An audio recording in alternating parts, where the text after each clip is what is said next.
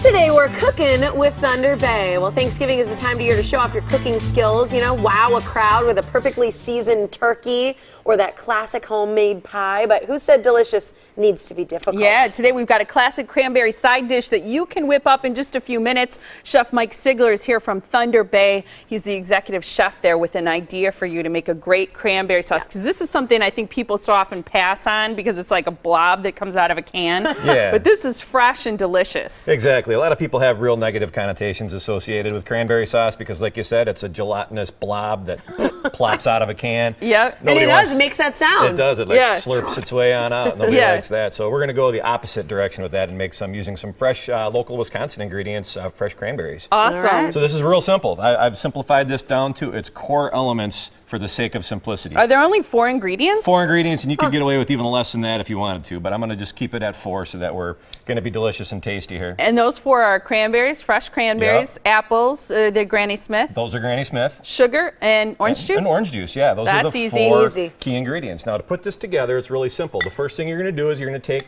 your cranberries, and this is about four cups of cranberries. And I do have this recipe up on the Morning Blend website. So Thank you. We've got four cups of cranberries. Are those just as is, thawed out? those are as is. You could either use fresh ones um, if you have access to them. If you don't, you could go ahead and use some frozen ones, and they're going to work just fine because you're going to be cooking them either way. Okay. And to that, we're going to add about you know a cup and a half, two cups of apples, depending on what how much you like. These Okay. particular ones are Granny Smith. Um, if you wanted to use a different kind of apple, like a Braeburn, or uh, you know, you, I would stay away from the Red Delicious. But you know, depending on if you like it tart or if you don't like it tart, you put your apples in there. Okay. From there, we're going to add sugar. Now, once again, cranberries are naturally very tart. Um, Some people embrace the tartness. Some people are like, I'm going to cut that with some sugar. So we're going to go ahead and cut that with some sugar. So we got about a cup and a half of sugar that we're going to go ahead and put Okay. right in there, along with the cranberries. And we're going to give that a stir so it all comes together real nice. And then right here, what we're going to do is we're going to add some liquid to this to kind of go ahead and make it a little bit more, um, so it cooks together a little bit more. And our liquid that we're going to use is going to be fresh orange juice. And if you wanted to substitute, you know, cranberry juice, obviously, or if you wanted to substitute a little bit of apple juice to kind of fall in line with the apples that you got in there, you could do that. I like the citrusy punch that you get Yeah. from the orange juice. So we're going to add Yeah. a little bit of that in there. And plus, that's one of those ingredients that people will be like, hmm, what is that citrusy punch going on in there? Know, That's the secret ingredient, or you can just tell them it's the orange juice.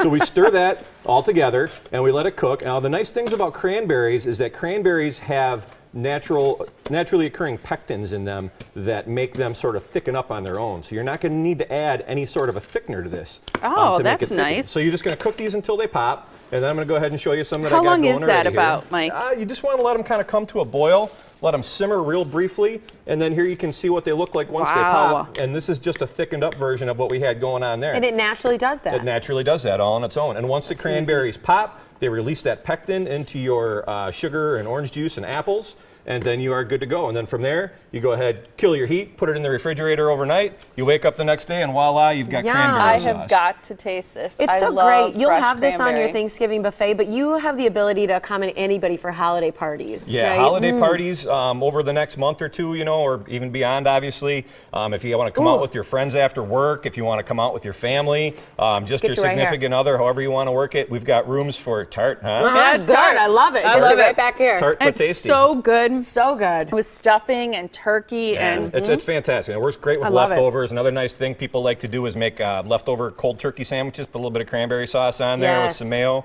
bacon. We're talking about a good sandwich. How many people eat out for um, Thanksgiving? Do you get a lot of reservations? Because I know you're going to be working and Yeah. serving up Yeah. a great meal at Thunder Bay this Thanksgiving. Definitely, yeah. We uh, are having our traditional Thanksgiving Day buffet, and we're pretty much booked up right now. We have about a thousand reservations. Wow. So Nice. we, we started off kind of tentatively a couple years ago because we weren't sure what kind of a response we were going to get, and uh, people really love the opportunity to come out and not have to do the dishes for themselves, not have to cook for themselves, um, etc. So yeah, a lot of people we found really do appreciate the fact that there are places out there that are willing to accommodate them. Can people, so you can't make a reservation anymore for Thanksgiving, can you pick anything up still? Um, the the cutoff for that actually was yesterday for the pickup, just because of the fact that we got to have time to prepare Yeah. enough food. But we do have some room in the restaurant for some walk-ins. Mm-hmm. So if you just want to come out with your significant other, your loved one, you know, and take a chance, you can come on in, and we can probably you know scooch you in as a two-top, three-top, four-top, get you a seat if you're willing to wait for a little bit. Um, but yeah, like I were mentioning also, I I mean, if you want to come out for a holiday party, we have the ability to accommodate people that way, whether it be Christmas, whether it be New Year's.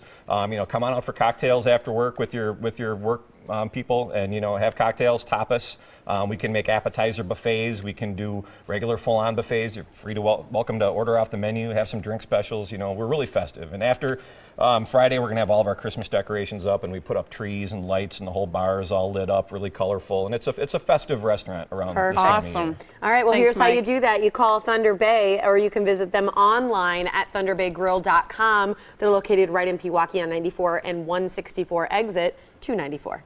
Thanks for being here, Mike. Happy Thank Thanksgiving much. to you. Mm-hmm.